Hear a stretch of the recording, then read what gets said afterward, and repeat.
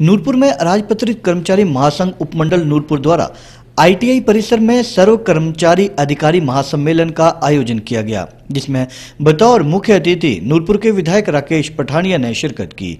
इस अवसर पर उन्होंने कहा कि इस सम्मेलन को बुलाने का कारण यही है कि साल के पहले शुरुआती दिनों में सभी कर्मचारी और अधिकारियों के एक नए संचार को पैदा किया जा सके।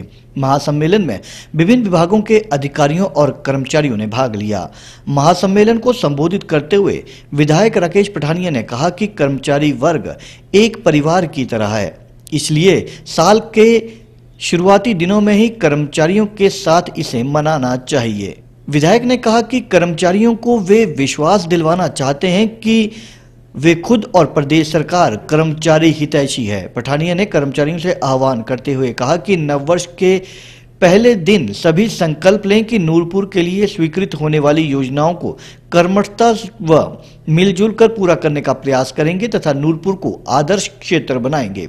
कार्यक्रम के बाद पत्रकारों के साथ बातचीत करते हुए राकेश पठानिया ने कहा कि प्रदेश सरकार के एक साल बीतने के दौरान कई नीतियाँ और योजनाएँ बनाई हैं और 2019 में उन नीतियों को धरातल पर अमली जामा पहनाया जाएगा। उन्होंने कहा कि इस वर्ष में जहाँ वो नूरपुर में सिविल अस्पताल की दशा सुधारेंगे, वहीं पीने के पानी के साथ हर किसान की ज़मीन तक सिंचाई जल पहुंचाएँगे। इस अवसर पर उनके साथ एसडीएम नूरपुर सुरेंद्र ठाकुर, डीएसपी साहिल अरोड़ा सहित अराजपत्रित कर्मचारी महासंघ के अध्यक्ष, महासचिव व पदाधिकारी मौजूद रहे। इससे पूर्व विधायक ने आईटीआई के पास निर्मित सरकारी आवासों तथा एनजीओ भवन का उद्घाटन भी किया। साल का पहला दिन जयराम सरकार का एक साल पूरा हुआ है। हम एक, लगातार एक महीना पर इसको मनाएँगे और आज सारे समस्त कर्मचारियों के साथ बैठ के उनकी भोज करने का कार्यक्रम बना। एक दिल में जो कोई गलतफहमी है सरकार के प्रति, उसको हटाया जाए।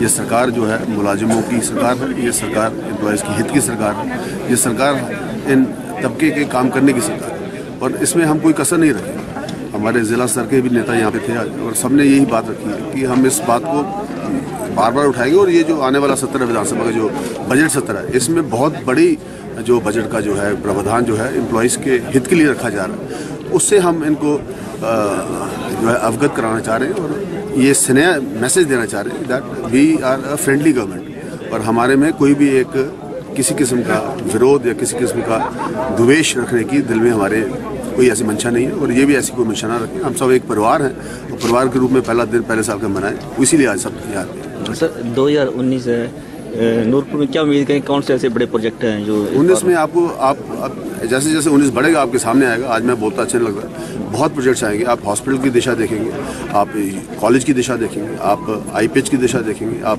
पीने के पानी के साथ साथ चेक डैम्स की दिशा देखेंगे। ज़िम्मेदार को पानी कैसे लगेगा कितने बड़े स्तर पर लगेगा वो आप खुद देखेंगे। हर स्तर पर क्या वो प्रशासन में हमारा पुलिस का हो क्या लॉ एंड ऑर्डर हो क्या वो ड्रग्स के ऊपर लड़ाई हो क्या वो हॉस्पिटल का विस्तार हो क्या वो पानी की व्यवस्था हो। हर चीज़ में आपको धरातल पे रिज़ल्ट आना शुरू हो